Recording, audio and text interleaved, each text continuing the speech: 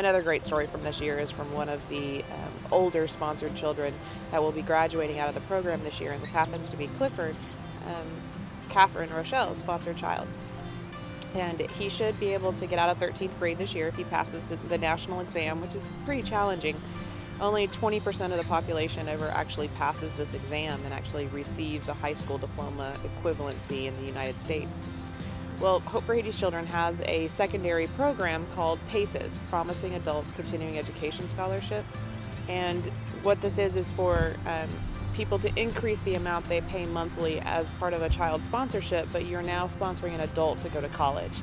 And it's really not a, a horrendous amount of money. For about $100 a month, you can send a Haitian to college. And some of them choose a trade school like um, carpentry, some of them use um, computers. Some of them actually go to nursing school, and there's even one that's enrolled with the University of Notre Dame, and she's becoming um, a physician. So the possibilities are endless for these Haitians if you just give them the hope to go. And so when I was talking to Clifford about it, he didn't have any idea about what PACES was about. And so I was able to pull out um, Johnny Lane, who is currently in the PACES program but also employed for Hope for Haiti's Children.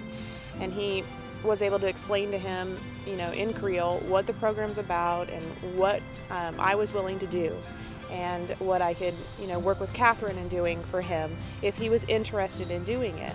But it's a big commitment. It's a commitment for the sponsor as well because it's at least a three-year commitment. But for them, this will change his life and this will change his entire family if he were able to actually graduate from college. That's less than 2% of all Haitians actually graduate from college. So this makes a, a big difference. And on the day that I was talking to him about it, um, apparently it was his birthday, and I didn't even really look closely at his paperwork, but he was smiling from ear to ear, and um, through an interpreter, he told me it's the greatest birthday present ever, and together we will do this.